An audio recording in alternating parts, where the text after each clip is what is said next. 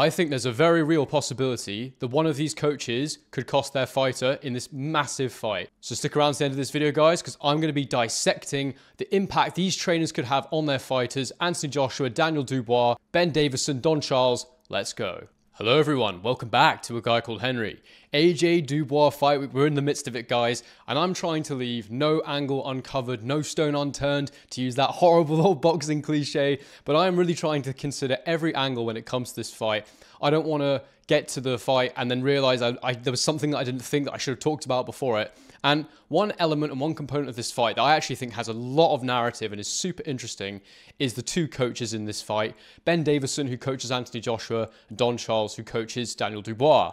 They're completely different coaches, guys. They're complete opposite ends of the spectrum in terms of age, um, in terms of experience, and you know, actually, the experience uh, potentially lies with the with the coach that you might not expect. And I really think that whilst these coaches have very different attributes, it may be that they're actually the exact right guys for the fighters that they're with. But in this video, I really want to go through, I want to look at, you know, when, when did these coaches emerge? What is their style? What are some of the successes they've had so far? You know, what stage were the, the two men, Anthony Joshua and Daniel Dubois, at when they teamed up with these guys? And how might their input impact the outcome of this fight? I really believe that a coach can have a huge bearing on a fighter's destiny. You know, it might be that a fighter is hugely talented, but it's untapped because they're not with the right man. Or maybe they're taking completely the wrong approach to things, and it's because the coach that they're with hasn't understood, you know, this isn't your typical man that I normally work with. This is someone who needs a specific treatment. I've seen it over and over again in gyms, guys, at lower levels, you know, where you go in and it's a one size fits all with the with the fighters that they coach. And I think that to be able to look at the man in front of you and get the best out of him is super important. And you know, being adaptable as a coach um, is is of the utmost importance. And I think that you know, there's definitely different elements to coaching. One of those things is tactical. One of them is motivational. Um, and the other the other is fitness. And you know, those three things in my mind are the keys to you know unlocking performance on fight night. Guys, before I get into this one fully, please like the video, please subscribe to my channel, and drop your thoughts in the comments section below. Which coach do you think it can have a bigger impact on this fight? What do you think of the work of the two men so far? And who do you think is going to win this fight, Anthony Joshua or Daniel Dubois? So to begin with, I just want to talk quickly about Ben Davison and how he sort of emerged on the scene. It was when Tyson Fury was making his comeback I first heard of Ben Davison. And I heard he was working with this really young guy in the gym, Tyson Fury, and everyone was sort of very skeptical about it. They were like, Tyson Fury's what? He's like 30 stone, he's massively overweight, and now he's working with this unknown trainer, Ben Davison. And it was really when Fury went into that Wilder 1 fight and had that massive performance, it was sort of Ben's coming out party. Everybody was like, wow, this young guy's done a phenomenal job of getting Fury into some kind of shape, getting him motivated, getting him back in the ring.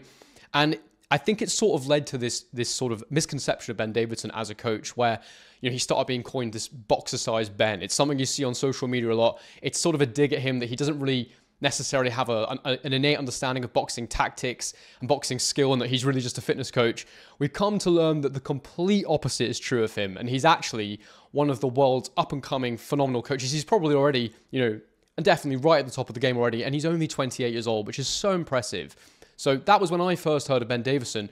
Don Charles, on the other hand, is someone that I heard of because of his work with Dereck Chisora, and I think that's what most people know him for. Don Charles is now 62 years old. So you've got guys that are the best part of sort of 30 odd years apart in age. And ironically, I'm going to go into it, but you're going to see that Ben Davison's actually the one who has far more experience at the higher level than Don Charles. And I think that might play a big factor in this fight, but we'll get to that in a little while. We're going to start with Anthony Joshua and his background with coaches and his sort of journey with coaches because it was a massive talking point for a while, especially after the losses that he took. AJ obviously came through the amateur setup in Team GB where he worked with Rob McCracken. He runs the setup there in Sheffield. And when he turned pro, I actually remember he started off with Tony Sims because I believe I think it was, I think an Olympic cycle was coming up or something, and um, or there was some sort of amateur tournament coming up that meant Rob McCracken wasn't available to work with him right off the bat. But I think he always intended to work with Rob. And, you know, the speed that they managed to get AJ up to scratch, you know, that team, phenomenal. You know, the work they did with him was really good because AJ was a late comer to boxing. And so the work that they were able to do to get him up to speed, to get him to become a, top level heavyweight as quickly as they did was really, really impressive. Um, but, you know, cracks started to show um, after that loss to Andrew Ruiz in the first fight. They came back, and I think he that was when he added Angel Fernandez to his camp. And this is when things started to get a little bit muddled. Now, it may have been before then, but this is, to my knowledge, officially, that was when Anthony Joshua brought Angel Fernandez into his setup, and you sort of had more than one coach, which that's when you start talking, are there too many cooks in the kitchen? You know, it's that old saying, too many cooks spoil the broth. And for that fight, it got the job done. You know, I think he felt that he needed to move more, and we saw that he, he went in the ring, and it was a much more apprehensive, much more cautious performance. Used his legs, stayed on the outside, used long shots, and he didn't really get mix it up with, with Ruiz too much in that fight. And I think that was the reason that he brought Angel Fernandez on board. Um, and obviously it worked. But the problem after that was that we then saw AJ caught between a couple of different styles, and this has been talked about a lot. So I just want to give a quick overview of this. But for sure, there was a period of time where people were sort of like, what is Anthony Joshua now? And I think Anthony Joshua didn't know himself. He didn't know how to go about his work. What was the way for him to move forward? I definitely think he became much more reserved after that Klitschko one fight anyway, but then getting knocked out, um, stopped against Ruiz in that first fight, just solidified that sort of feeling I think he had that he didn't really want to put himself in harm's way. He wanted to box his opponents more. But then the problem was that it didn't play into his greatest attributes and strengths, which were speed and power. He then had the two fights against Usyk. Uh, well, the first one in particular, where um, Rob McCracken's corner work was heavily criticised. Um, you know, I, and I can remember hearing it myself. People, it's sort of saying to AJ, "Look, AJ, you know, you can do this." AJ, sort of encouraging him and and saying, "Come on, AJ, you're, you're boxing his head off. You're doing so well." When it just wasn't the case, he was losing, and someone really to my to my mind needed to put a rocket up AJ's arse and say, "Look, mate, you're down. You got to go knock this guy out and, and drive him on." You know, um, which look, we don't know the reasons for that. Perhaps AJ at that time had a very fragile, uh, fragile mental state that meant he needed to be constantly built up and um, encouraged. So perhaps that would have, you know, they knew him better than anybody. They were in the gym with him every day, so they definitely got a lot of stick for that. And you know, lo and behold, after that performance, AJ went and found a new trainer. Now, I almost completely forgot that for that second Usyk fight, he had Robert Garcia in his corner, Anthony Joshua. And I almost completely forgot about it. You know, it was such a, a, random link up. I mean, I thought I actually really liked at the time. You know, Robert Garcia, known for fighters that have that come forward Mexican style. I thought it would have worked really well. And he did put in a better performance in that fight, AJ. And they worked together for a very short amount of time. I think Angel Fernandez was still in and around the camp. I think he was someone that was always there with AJ as a, as a common thread throughout his career. I think I don't I think he did some work with him even before he officially joined the camp, but I believe he was still on board then. Um, and it definitely felt like AJ was still running the show, and you didn't feel like you didn't feel like he had full control, Garcia. So there was that one fight they did that together. It went okay, um, and then he moved on to um, Derrick James, who obviously known for coaching Errol Spence Jr. in particular, and they had an okay link up, but again. AJ still looked caught between styles. Um, he had the fights against Jermaine Franklin and Robert Helenius, which AJ got the win in both of them. But again, you know, there was still concerns and doubts over AJ in those fights. You know, they he still looked caught between styles. Um, in that in that Franklin fight in particular, probably a quite a difficult comeback fight for AJ. To be honest with you, I think his profile, where he's quite short and stocky, AJ's always had more problems, in, to my mind, against smaller fighters and in terms of height. Um, and then the Helenius fight, you know, he actually got hit quite a bit in that fight, Joshua, more than you would have liked. Again, still a little bit caught between styles. Did see him really committing and punching through the target there, which was a great thing, but he got his nose bust up. Um, and it's this point where Anthony Joshua decides, I'm going to join Ben Davison. I think it was just a happy coincidence. I've heard them talk about it quite a bit. AJ was in the area. One of his mates said, Why don't you just go and work out with Ben while you're out of camp? Just go there, tick over. And I think that he saw the way that Ben Davison and Lee Wylie were doing things and he thought, you know what, I'll have a bit of this. At this time, the main things that AJ was lacking was the ability to punch through the target. He was he still seemed apprehensive. He still seemed too afraid to get hit. Um, and just generally, his style seemed quite confused. You know, people were like, does this guy have the desire anymore? Does he have the hunger? Is he willing to put himself in harm's way? Because ultimately, as a fighter, if you're going to win fights, you are going to have to take those chances. You are going to take those risks, especially when your main attribute is knockout power. So that's where we find Anthony Joshua when he meets Ben Davison. I'm now going to get into Daniel Dubois and his journey before I then talk about the credentials of these two trainers and what I think they've added to the men that they now work with. So Daniel Dubois, when he turned over, um, he worked with Martin Bowers initially, and I believe it was up until the Joe Joyce fight that they were working together. Now that fight for Daniel Dubois was um, a bit of a disaster because you know I think Dubois was a fairly heavy favorite in that fight. Joe Joyce, although a great amateur, you know in the pro ring, people weren't that impressed by his body of work just because he looked so hittable and everyone was like, wow, Dubois, Dubois can really crack. But it was in that fight we saw um, mental fragilities in Daniel Dubois. Now, look, fair play. I would not keep fighting. Most people would not keep fighting if they had a broken orbital bone. Allegedly, he had a broken orbital, orbital bone. Um, and he was losing the fight, Dubois. I think he was up on the cards potentially. To my mind, he was losing on points. I think he was up on the cards. Regardless, he pulled himself out of that fight, Dubois. He decided he didn't want to continue. And that's one thing you'll say about Daniel Dubois. I've never actually seen him knocked out cold. I've only ever seen him decide he doesn't want any more, any more punishment in the ring. And that's when those mental cracks started to show. That's when he started being called a quitter. When people sort of said, does he really have the mindset and the minerals for this boxing game, especially at heavyweight? You know, you're going to get hit very, very hard. So that was always a concern for people.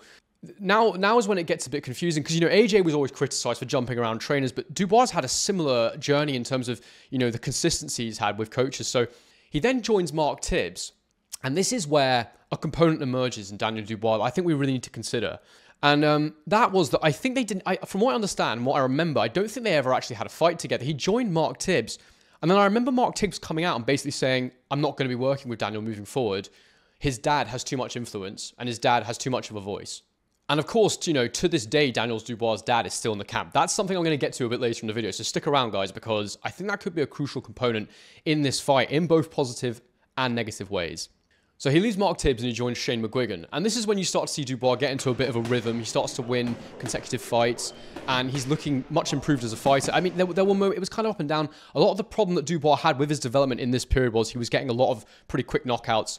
Uh, Bogdan Dinu, second round knockout. Cusumano, first round knockout. Trevor Bryan, fourth round knockout. And Kevin Lerena, um, third round knockout. And I believe it was the Lerena fight where Dubois actually had an ankle injury as well. So there was you know, there was all sorts of reasons why it was a bit of a challenging time under Shane McGuigan in terms of his development.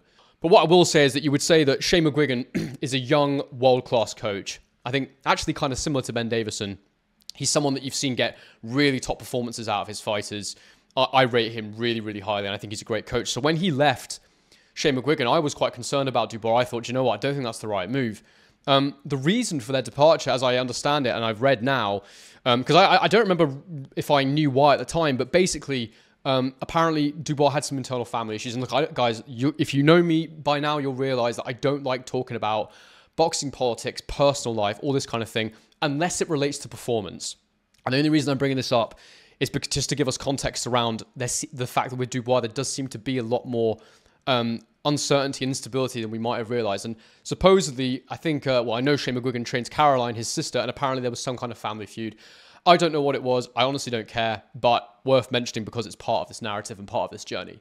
So at this point, Daniel Dubois links up with his now trainer, Don Charles, and he has his fight against Usyk, which, you know, I'm not going to start commenting on how that fight went.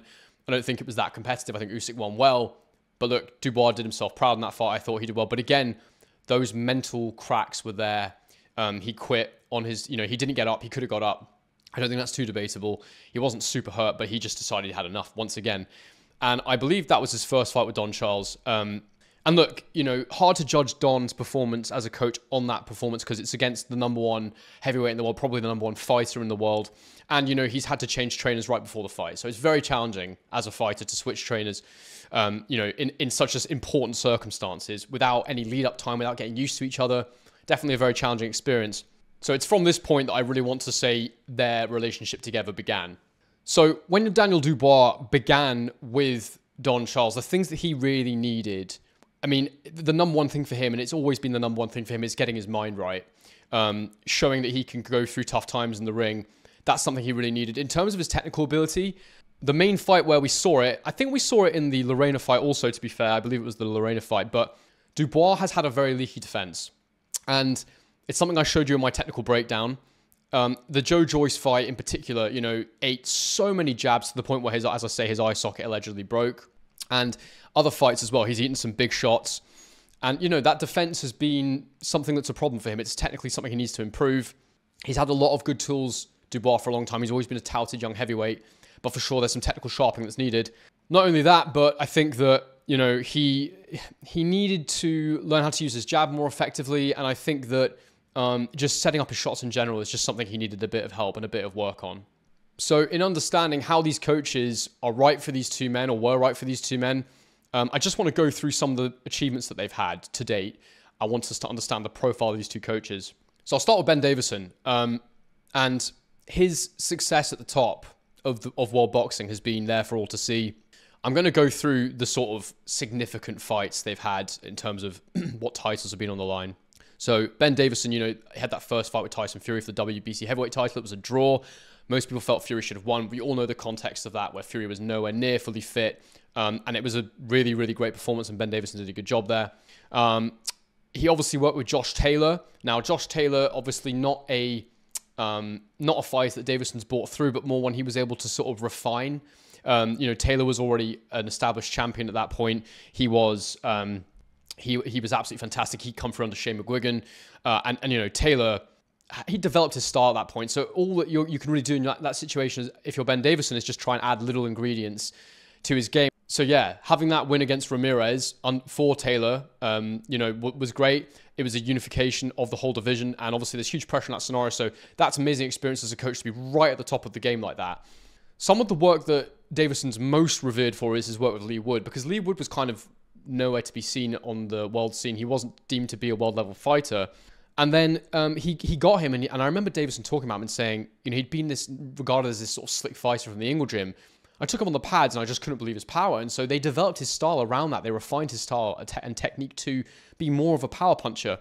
So he won against Xu Can. He won the WBA featherweight title, which he then lost against um, Mauricio Lara, which was, you know, I think that's probably his first loss in a world title fight. Ben Davison, where he's the main trainer. But then they avenged it, and that was the thing. They came back and they got Lara, uh, they got uh, Wood to a point where he boxed an absolute perfect performance. So absolutely incredible. Um, he's also been involved with Billy Joe Saunders when he was in the corner for Can- the Canelo fight. wasn't the main co- uh, trainer in the corner, but he was involved for that one. And he's been involved with Devin Haney, I believe. So I don't know how much he was involved, but there was talk about it. Um, so you know, he he uh, recently has been very very involved with some significant fighters in big world title fights, in unifications, all that kind of stuff. Um, Don Charles, on the other hand, as I say, best known for his work with Dereck Chisora. Uh, they had one world title fight which they lost against Vitaly Klitschko. Um, the other world title fight that he had was with Frank Buglioni against Fedor Chudinov, which they lost. Um, and and those are the only fights he's had at world level. Most of his um, coaching has been at British level um, and some European level as well, I believe. So in terms of experience at the top level, ironically, even though there's nearly 30, there's actually more than 30 years between the two of them in age, it's actually Ben Davison who's got that world championship experience in abundance. Now, I spoke a bit before about what each fighter needed um, when they came to these two coaches. And so I just want to gauge here how much of a difference they've actually been able to make to the two fighters in terms of, you know, are these the right coaches for them and, you know, what impact is this going to have on the outcome of this fight?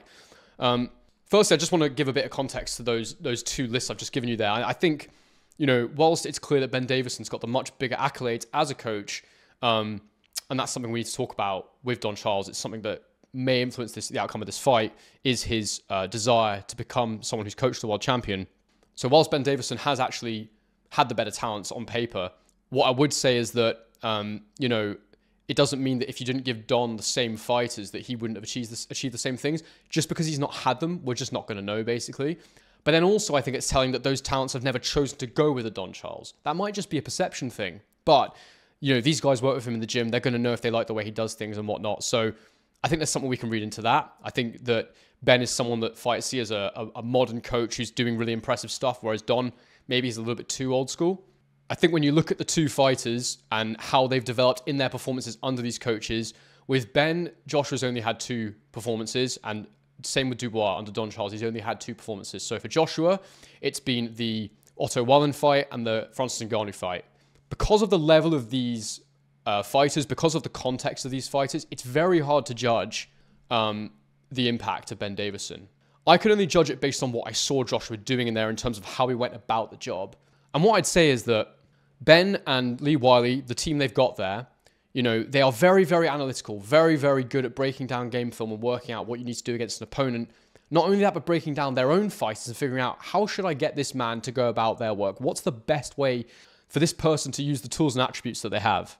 And I think it's clear to me that they've decided the best way for Anthony Joshua to box is as a counterpuncher. Genius to me, because it was something that AJ was always good at, but it was never his predominant style. I've broken all of this down in my breakdown video, guys. You can go and see the Ngannou performance in that video and what he did technically that made it so good on a, on a detailed level. But just speaking generally here, they've made him into a counterpuncher. Like, that's his predominant style now. They've identified that that's the best way for him to go about his work, and he's had two phenomenal counterpunching performances where he's barely taken a punch. The context with the Wallin fight that makes it difficult to judge is that I think, from what I understand, Joshua's had a lot of experience sparring against Wallin, and he's often dominated him. Um, so it was a fight he would have been really confident going into anyway. So stylistically, yes, you can see the counterpunching performance there. But in terms of have they given him confidence, have they improved him mentally, he may have been confident for that one anyway. I don't think having them there hurt though. Similarly with the Ngannou fight, we don't we still don't actually know how good Ngannou is. What we do know is the only other boxing match he had was against Tyson Fury, who maybe wasn't fit. So much context here to understand, guys, but anyway, who maybe wasn't fit. But Ngannou arguably won that fight. If not, became very, very close to doing so. We know he knocked Fury down. So we have to take that as what it is. You know, Ngannou could be really, really bad or he might be really decent. I think he's probably a top 25 heavyweight. That's probably how I view him. I don't think he'd make the top 10. Outside of that, it's hard to say. It's hard to say what he is. But again, the way that Joshua went about the job, super clean. You know, identified all Ngannou's tendencies early, knew exactly how to manipulate him, landed some monster punches and took him out clean. And it was a devastating performance. So, from what we can see, perceivably, they've done a great job of Joshua. You know, because you know we've got to consider those intangibles and, and, the context and everything, but we don't have anything that doesn't have all that context around it. So that's why this Dubois fight is so important to be able to say, yes, Joshua's back. Yes, he's now become a phenomenal counterpuncher. Yes, he's going to go and compete at world level against all the other top heavyweights. For Daniel Dubois, he's had the fights against Jarrell Miller and the fight against Hrgovic with Don Charles. And in these two fights, you know, when we were talking before about what did what did Daniel Dubois need to improve on, it was his mental fragility, it was his defense, it was his technique. In these two fights, for me, I think he's shown he's fixed half of his problem. The mental resilience is now there for sure. I mean, he's willing to go to the well, and you saw it in these two fights because he had to. You know, he took a lot of shots. Even against Jarrell Miller, he ate some huge punches, and not only that, but when he could have coasted to a points win at the end of that fight, he put his foot on the gas pedal and went, "Nah, I'm going to stop this guy. I'm going to knock him out."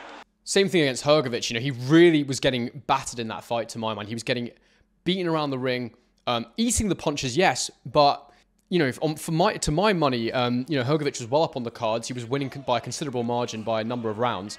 And you know, Dubois, the reason he won that fight was because he made it a war of attrition. He got his head down, he bit down on his gum shield, stuck his head in there a few times, which isn't great. But you know, you do what you need to do if the referee doesn't stop you. And he got in there and he smashed him up um, outworked him, overpowered him, and eventually the fight got stopped on cuts. So incredible mental resilience from Dubois on display in both of those fights, in particular the second one. So that's great. But the other half of the issue being his defense has been leaky and poor. Um, for me, that's not improved. And to be honest with you, um, it's as leaky as it's ever been. You know, you saw against Hrgovic, he ate so many right hands. And as I say, even against Miller, he ate some shots. So I personally believe that technically, I don't think Dubois really improved that much.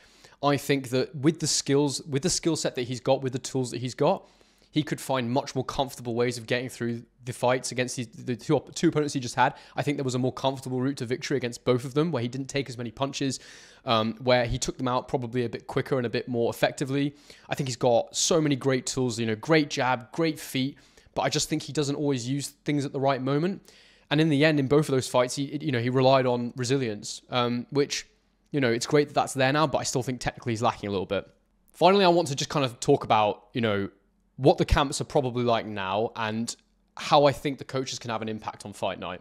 Now, with AJ, I think that he's going to have a really, really clear game plan for this fight because there's so many tendencies with Daniel Dubois to study and understand things that he's done throughout his career that he's done over and over again. I'm absolutely convinced that uh, Davison and Wylie will have come up with a great plan to beat Dubois, and for AJ, it's about execution.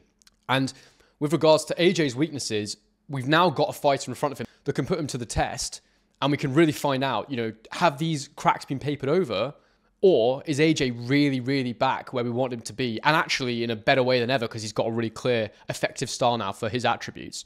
That's what we're going to find out from Daniel Dubois because of the kind of pressure fighter that he is, because of the volume of output and all that sort of thing. So I think that Davison and Wylie are the best coaches available for Anthony Joshua.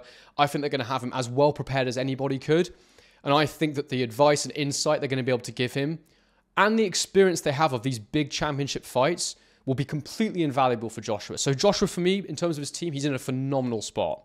I would call into question, however, some of the things I've been seeing around Daniel Dubois, the relationship with Don Charles, and in particular Daniel Dubois' dad. When family is involved in boxing, it's always it's always a tricky thing because you know you're always going to have a more emotional relationship with your parents there's been a lot of father and son trainers and it doesn't always work there's been a few occasions where it has you know floyd and floyd senior is the first one that comes into your head um, I know that Shawn Porter had a good relationship with his father, did great things together, but there's also a lot of examples of it not being the right thing. And now that his father's also in the corner, you just wonder, you know, to what extent is Don Charles actually in control of what Dubois does and in charge of this camp?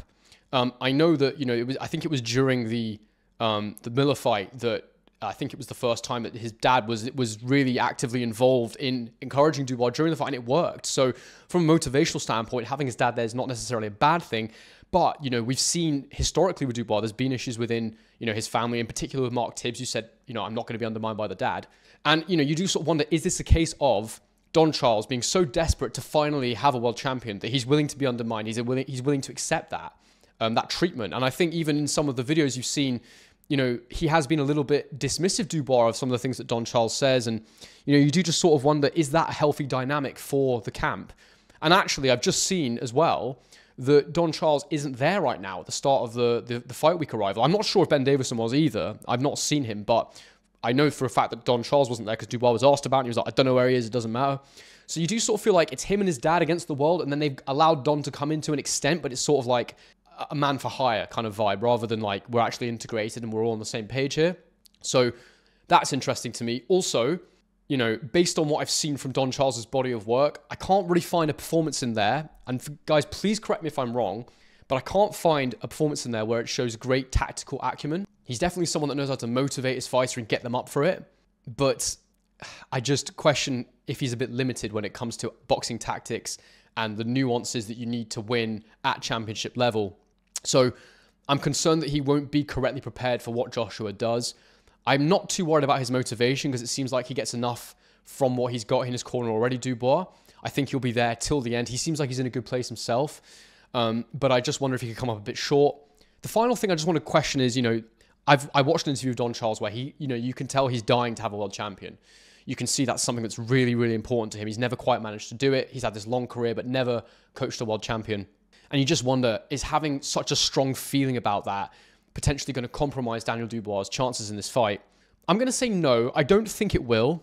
I don't think it's necessarily a problem, him having huge desire for that. It just means he's going to work a bit harder. Um, but I think that he might be compromising on some of his beliefs as a result of that, just because of this strange dynamic in camp that they seem to have.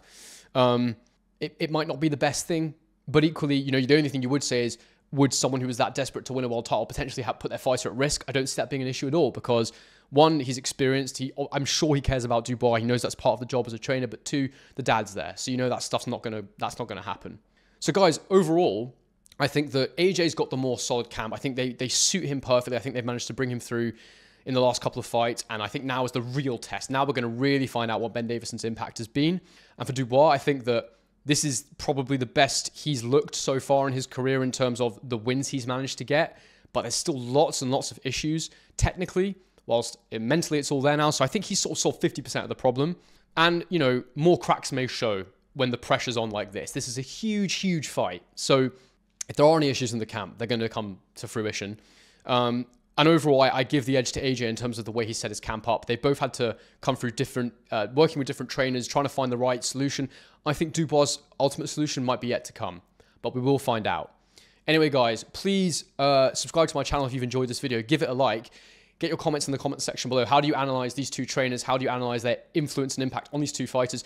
And who do you think is going to win this fight? If you do want to book this one through my link below in the description, uh, if you want to book this fight with DAZN, if you use my link, I get a little bit of the revenue, guys. If you're planning on doing it anyway, all I ask is that you use my link. I'll get a small percentage of um, of your purchase, and it just means that you help support my channel, which I really, really appreciate. But other than that, guys, appreciate you sticking to the end of this one, and on to the next one.